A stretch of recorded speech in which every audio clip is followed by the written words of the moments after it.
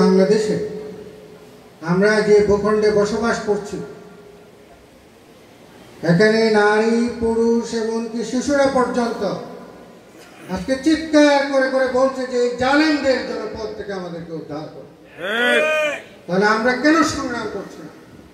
কেন জিহাদ করছি না? এখানে এবাদত, খেলাফত, জিহাদ, আমার আগে তিনটি গুরুত্বপূর্ণ কথা এসেছে, এত কথা বলার সময় নেই।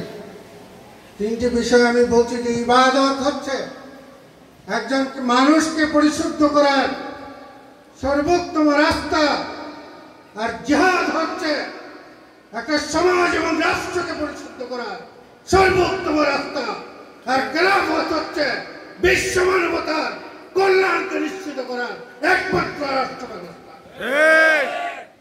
সুতরাং এই জায়গায় সমন্বয় সাধন করে কাজ করতে হবে। এখন ইবাদত নিয়েও যেমন একটা লাভ, তেমনি জিহাদ নিয়েও একটা লাভ। এবং এমন একটা পর্যায়ে এটা পৌঁছে গেছে আজকের বিশ্বে।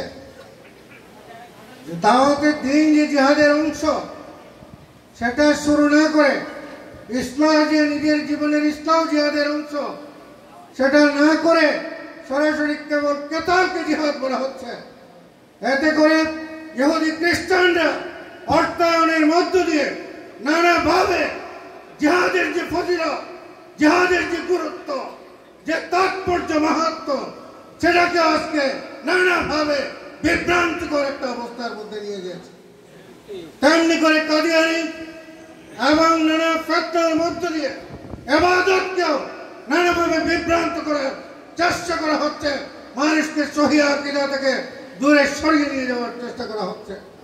সুতরাং খেলাফত মসজিদ তার মূল নীতিতে এবং নীতি অনুযায়ী ইসলাম, জেহাদ এবং খেলাফত রাষ্ট্র প্রতিষ্ঠার সংগ্রামের জন্য নারী পুরুষকে একসাথে নিয়ে খেলাফত মসজিদ কাজ করতে চায় এবং আল্লাহ রাসুলও সে কাজ করতে চায়।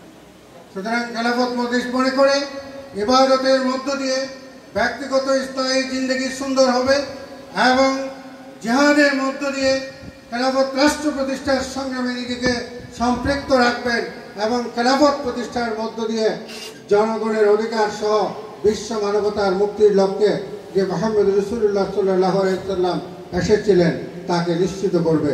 আমরা সবাই খেলাফত মজলিসের কাজে অত্যন্ত সক্রিয় এবং আত্মনিবেদিতভাবে কাজ করি। আল্লাহ তালা আমাদের মেহনতকে জান্নাতের বিনিময়ে কবুল করুন।